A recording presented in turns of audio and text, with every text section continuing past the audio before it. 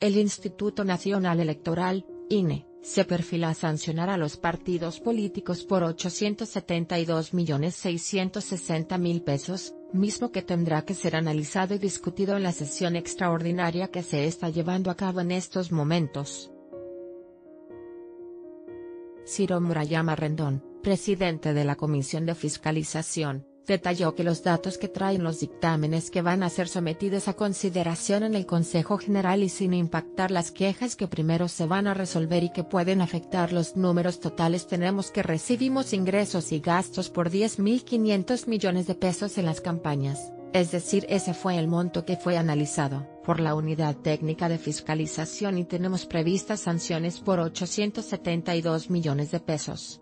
En entrevista, Murayama Rendón informó que esto quiere decir que las sanciones van a ser alrededor del 8% de los recursos involucrados en las campañas. De estas sanciones 296.451.000 pesos corresponden a los dictámenes federales y 532.008.000 pesos corresponden a los dictámenes locales, para partidos políticos nacionales.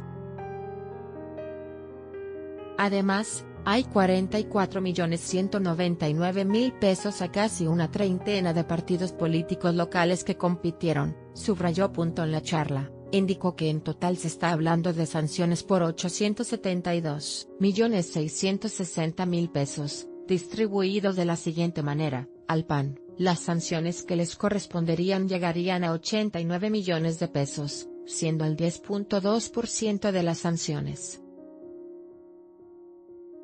al PRI, 186 millones 70 mil pesos, el 21.3%. En tanto, al PRD le corresponden 66 millones 927 mil pesos, el 7.7%, al PVM, 107 millones 39 mil pesos que representan el 12.3% de las sanciones, al PT, 100 millones 242 mil que representan el 11. 5. A Movimiento Ciudadano, 36 millones 776 mil pesos, el 4.2%. A Nueva Alianza, 28 millones 400 mil pesos, el 3.3%. A Morena, 139 millones 557 mil pesos, el 16% y Encuentro Social, 74.437.000 pesos que presentan el 8.5%. Política PRD busca solución política a su crisis mientras que los partidos locales tendrán sanciones por 44.199.000 pesos que representan el 5.1% de las sanciones previstas. Las sanciones, manifestó se deriva de los dictámenes circulados y de una revisión que con los partidos políticos que tuvieran seis días para ver cuáles eran las sanciones que les estábamos imputando. Cuando ellos detectaron que nosotros teníamos alguna imprecisión, algún error que les contabilizábamos dos veces la misma conducta, o se les ponía un cero de más y pasada de miles a millones, cuando fueron errores corregimos y por eso estas cifras consolidadas que, insisto, son 296.451.000 pesos de sanciones en los dictámenes federales y 532.008.000 pesos en los dictámenes locales.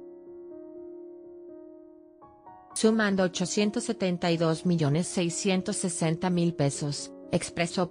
Ciro Murayama recordó que se van a resolver 435 proyectos de queja, de los cuales 90 vienen fundados por lo que en todos los casos que son fundados va a haber sanciones que se van a impactar en los dictámenes serán distintas cantidades que habrá de sumarlos aquí, pero esos son los datos con los que vamos a estar trabajando en las próximas horas.